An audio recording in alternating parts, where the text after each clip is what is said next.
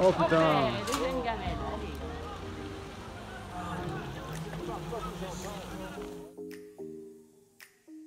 Et salut tout le monde, aujourd'hui on se retrouve pour une toute nouvelle vidéo. Et comme vous pouvez voir ça commence très fort car mon frère est tombé dès le départ.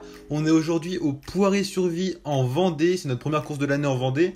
Et pour le coup comme vous pouvez voir au ralenti ici maintenant, le gars devant mon frère, je sais pas ce qu'il a eu mais en tout cas il tombe, il fait tomber mon frère et mon frère du coup se prend une belle belle euh, tôle hein, pour le coup là il, fait un petit peu mal quand même mine de rien même s'il a pu finir la course, vous allez voir par la suite. Mais il s'est fait plutôt mal, et en fait, il avait les deux freins de la roue arrière bloqués, ce qui a fait que du coup, il pouvait plus pédaler, enfin les roues ne tournaient plus, donc il a dû faire tout le premier tour à pied, hein, tout simplement. Donc autant vous dire que quand tu commences une course en faisant un tour à pied, en ayant mal partout, c'est pas terrible. Heureusement, il s'était pas beaucoup. Du coup, la chute n'a pas été non plus avec tout le monde. Ils étaient que deux à tomber. Bon, voilà, c'est lui qui est tombé, tant pis. Mais voilà, pour le coup, il a continué la course. Il a fait cinquième, je crois. Il est revenu sur les premiers au fur et à mesure de la course. Et comme vous pouvez voir, il est donc parti en courant dès le départ et il a fait un petit tour à pied.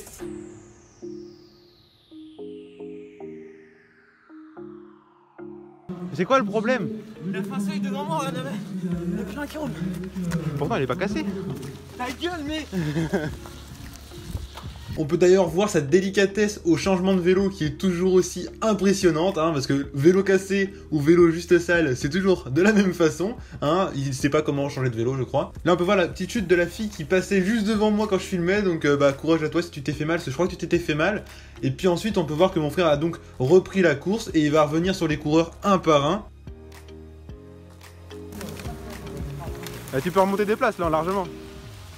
Et maintenant, on se retrouve pour mon départ, c'est-à-dire une course de 50 minutes. Je pars en deuxième ligne aujourd'hui, donc c'est un petit peu chiant sur le principe parce que j'aime bien partir en première ligne pour faire un bon départ et partir dans les premières positions. On peut voir que ça part directement. Je prends un départ plutôt mauvais, plutôt simple. Je pars dans les 15-20 premiers comme vous pouvez voir. Et en fait, là, je suis plutôt bien. J'ai pas encore forcé. Et là, je vais tourner à droite, je vais remonter les dents, je vais mettre ma première vitesse. Et ma chaîne va se mettre dans les rayons à gauche. Donc on peut voir que tout le monde me double. Je remets directement 2-3 dents pour pas rester bloqué. Ma chaîne se remet bien. Donc comme vous pouvez voir, je suis reparti directement. Je me suis pas arrêté, j'ai juste perdu toutes les places. Actuellement, je suis avant-dernier du peloton. Là, là clairement, je suis carrément hein, dans la merde, on va pas se le cacher. Je pars dernier de la course. Donc j'étais totalement dégoûté. Je voulais faire une bonne place. C'est la semaine d'avant le championnat départemental.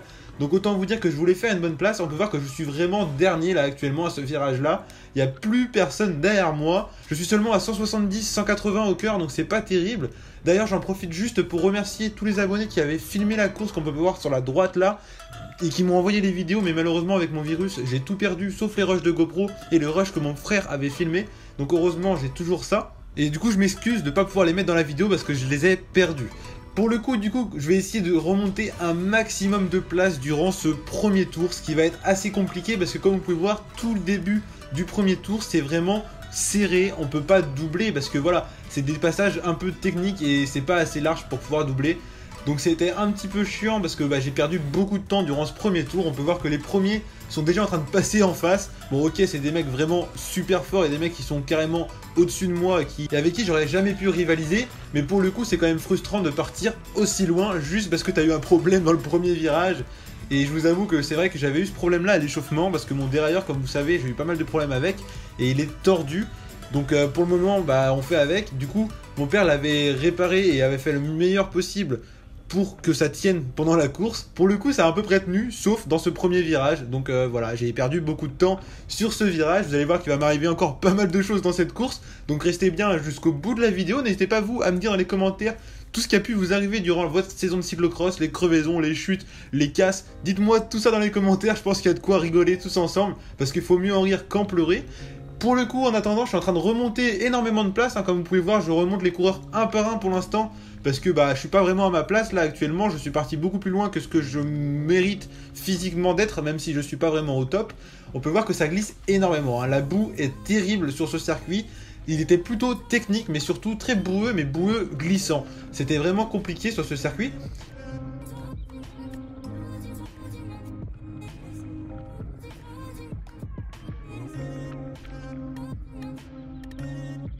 Et là, on va attaquer la partie où ça a été un peu plus roulant, mais c'était une grosse, grosse côte. Et pour le coup, elle faisait vraiment, vraiment mal aux jambes et au cœur. Et quand on arrivait dans cette côte, c'était, bah voilà, on était forcément à bloc une fois en haut.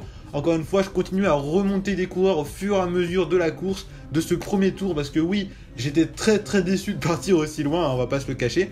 Donc je remonte un maximum, je fais tout ce que je peux pour remonter des places. On peut voir que là, je suis quand même pas si mal, je remonte quand même assez vite de nombreux coureurs, même si du coup je suis quand même super loin des premiers ou de la moindre bonne place possible. Là, on peut voir un coureur qui court à pied et d'ailleurs, j'étais un petit peu dégoûté pour lui parce que je savais du coup ce que ça fait d'avoir un problème dès le premier tour et pour le coup, cette année, j'en ai eu pas mal donc je sais ce que c'est. Donc je compatissais un petit peu avec lui. Là, on peut voir que j'arrivais à peine à doubler le VTT alors que voilà, normalement en VTT dans une côte, bah c'est quand même assez compliqué d'être bien. Pour le coup, bah, j'étais pas non plus super fort, mais voilà, ça se démerdait pas trop mal. Donc voilà, je me suis débrouillé comme je pouvais.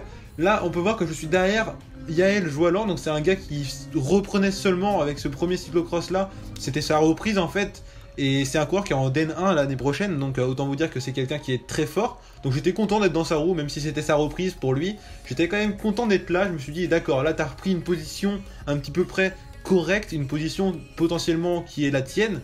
Et là, on va arriver dans la partie technique qui était un double dévers avec des boss. Enfin, franchement, c'était assez technique, hein, on va pas se le cacher. Et pour le coup, je l'ai plutôt bien passé à tous les tours. Même si c'est vrai que j'étais peut-être moins rapide que certains, je l'ai quand même passé plutôt bien à tous les tours. J'ai jamais perdu de temps, j'ai jamais tombé, j'ai jamais fait d'erreur, on va dire. Donc, pour le coup, j'étais plutôt content de cela. On va voir un petit peu après qu'il y avait un autre dévers un peu plus glissant ici où de nombreux coureurs d'ailleurs descendaient à pied. Là, je sais pas si les mecs devant moi vont descendre. Non, bah d'ailleurs, Yael, voilà, il tombe. Je l'avais oublié celle-là. Donc voilà, ça glissait vraiment beaucoup. Et moi, avec mon vélo, en fait, je ne glissais pas. Donc j'étais plutôt refait. Je passais tout le temps en vélo. Et en fait, on va voir après quand je vais prendre le vélo de mon petit frère pour changement de vélo, pour euh, nettoyer le vélo. Je n'arrivais pas à le passer tout simplement parce que le vélo de mon frère n'a pas les mêmes boyaux et ça glisse beaucoup plus. Et du coup, voilà. Mais ça, on va voir ça tout à l'heure. Mais avec mon vélo, j'étais plutôt à l'aise. Je ne glissais pas trop et j'étais plutôt content. On va voir que c'est quelque chose qui n'était pas forcément le cas avec les autres vélos.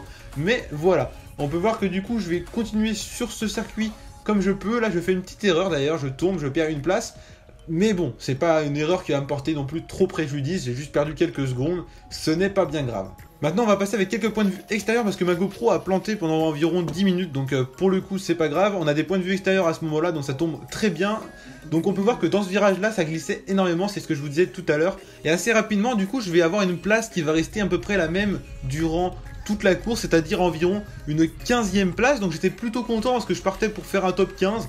Donc pour le coup, j'étais content de ma place, j'étais plutôt pas mal.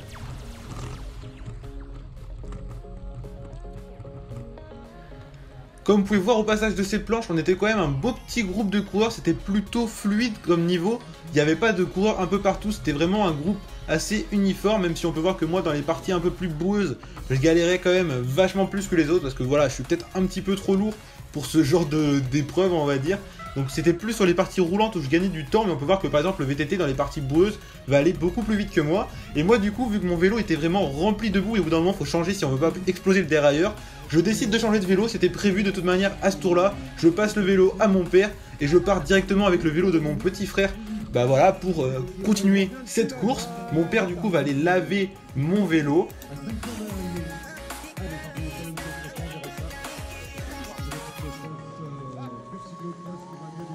Pendant ce temps-là, je continue ma course avec le vélo de mon frère. Donc comme vous allez pouvoir voir, en fait, avec le vélo de mon frère, je perdais quand même beaucoup de temps vis-à-vis du temps que je gagnais avec le mien. Tout simplement parce que le sien glissait beaucoup. En plus, il a des freins vraiment pourris. Hein. Clairement, on freine que dalle avec le sien. On peut voir que là, je loupe le dévers, je paie pied à terre, le VTT va encore me doubler. Et, et là, c'est compliqué. Voilà, parce que tout simplement, avec ce vélo-là, je suis pas habitué, c'est pas le mien et c'est assez compliqué d'être à l'aise quand on n'est pas sur son propre vélo. Donc j'ai fait un tour avec le vélo de mon petit frère et du coup directement dès que je peux, dès que le vélo est propre, parce que oui, il y avait tellement de boucles en fait on était obligé de changer de vélo juste parce qu'ils étaient sales. Donc dès que je peux, je change de vélo et je remonte sur mon vélo comme on peut voir tout de suite où je reprends le vélo et directement je vais enchaîner, je vais partir directement à bloc. On peut voir que mon cœur est quand même assez haut en bas à gauche de l'écran si vous le voyez bien. Et c'était donc assez dur tout de même de, repartir parce que quand tu changes de vélo et tout, t'es quand même dans l'ambiance mais euh, voilà c'est assez compliqué. Là en plus on passait par le passage du bain de boue. Euh, je l'appelle comme ça parce que vraiment c'était vénère point de vue boue là. Euh, assez compliqué de pédaler, surtout quand on est vraiment lourd comme moi. Bah on s'enfonce un peu dedans donc c'est assez compliqué. Et ensuite on enchaînait sur la partie roulante où là je gagnais quand même beaucoup de temps.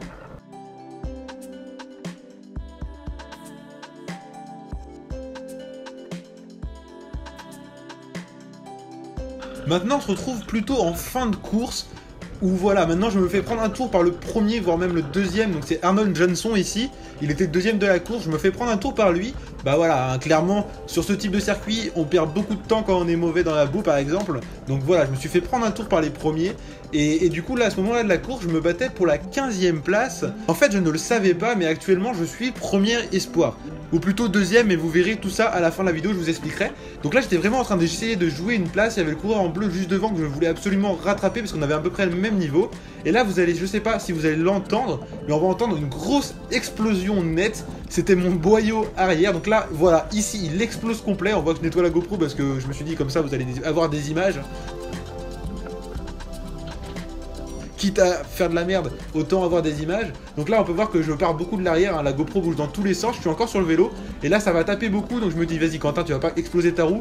Donc là, je vais descendre du vélo dans ce virage-là, je vais courir, hein, tout simplement, je vais courir pour ma vie, tout simplement parce que derrière moi, il y avait quand même beaucoup de coureurs qui allaient me rattraper. Je savais pas combien j'étais, je pensais être dans le top 15, donc fallait vraiment que je continue sur mon vélo. Euh, bah, mon vélo de toute façon c'est mort, je vais devoir prendre celui de mon petit frère. Mais il fallait absolument que je garde ma place. Donc là on va voir que je cours quand même bah, de toutes mes forces. Hein. Je cours à 16 km/h comme vous pouvez voir ici. Donc euh, je fais tout ce que je peux, je vais aller changer de vélo. Et voilà, donc c'est une course où il s'est passé beaucoup de choses. Vous allez voir qu'il va encore m'arriver 2-3 trucs avant la fin de la vidéo. Mais voilà, je change de vélo, je repars avec le vélo de mon petit frère. Et comme vous avez compris, j'étais pas à l'aise sur le vélo de mon petit frère. Donc c'est un petit peu chiant que de repartir avec le vélo de son frère quand tu sais que t'es pas bien dessus mais c'est pas grave. Pour le coup, j'ai continué ma course, faut positiver et se dire c'est pas grave, ça fera un bon entraînement pour le championnat départemental de la semaine prochaine. Donc maintenant, on va voir que des points de vue extérieurs qui ont été filmés par mon frère. Parce que voilà, j'ai pas de GoPro sur le vélo de mon petit frère. Donc heureusement qu'il était là pour filmer pour que vous ayez des images. Mais en fait, du coup, je vais plus ou moins garder ma place, mais un petit peu en perte. Plus en perte qu'en gagner en fait. Tout simplement parce qu'avec le vélo de mon frère, c'est vrai que j'avance quand même beaucoup moins vite. Il n'y a pas de frein, je glisse beaucoup plus. De perdre tout simplement pas mal de temps. Donc je faisais ce que je pouvais, hein, sincèrement, j'ai fait ce que j'ai pu jusqu'à la fin de la course. Je savais pas qu'il y avait un podium espoir, si je l'avais su, peut-être que je me serais encore plus donné, mais ça aurait pas changé grand chose. Et du coup, j'ai vraiment tout, tout donné. Et, je me suis en fait retrouvé deuxième espoir. Le premier était donc Yael Joalan, le gars que je vous ai dit qui était en DN et qui est donc bien plus fort que moi. Donc lui, il était premier espoir, moi j'étais deuxième espoir. Et du coup, il y aura un podium à la fin, donc je vais finir sur le podium en finissant deuxième espoir. Donc voilà la bonne nouvelle du jour. C'était un petit podium. Donc là actuellement je suis environ 16e, 17e. Donc euh, même si je pensais être dans le top 15, c'est un peu décevant. C'est déjà pas si mal vu le nombre de trucs qui m'est arrivé. Et du coup, assez rapidement, dans le dernier tour, je vais me dire, vas-y, vu que la semaine prochaine c'est le championnat départemental, t'as jamais essayé le troisième vélo, c'est-à-dire celui de mon père, donc ici, le Cannondale que vous pouvez voir, il est pas mal, mais le guidon est vachement trop large pour moi, je suis pas du tout à l'aise, encore moins que celui de mon petit frère. Donc là, je me suis dit, vas-y, Quentin, pour le dernier tour, tu testes le vélo Cannondale, juste pour tester. Hein. Clairement, je pensais que la course était finie. Et finalement, je vais quand même me battre pour faire la meilleure place possible. Et du coup, je vais finir avec le vélo de mon père et je vais finir 18ème et deuxième espoir. Donc là sur le podium, Yael n'est pas sur le podium tout simplement parce qu'ils ont oublié de l'appeler, mais moi je savais très bien qu'il était premier espoir. Donc je finis deuxième espoir, même si sur le podium officiellement j'étais premier, je savais que j'étais deuxième. Et du coup voilà, mais je finis tout de même deuxième espoir, le troisième qui est à ma droite. Et du coup c'était un petit podium, hein, mine de rien, c'est toujours ça de prix. J'espère que cette vidéo vous a plu. J'espère que je vais réussir à vous avoir fait positiver votre saison. N'hésitez pas à liker un maximum cette vidéo. Je veux que vous m'exposiez les pouces bleus, que vous en mettiez plus de 1000. Je compte sur vous, je sais que vous êtes capable. Je vous dis à la prochaine pour une prochaine vidéo. Bye bye.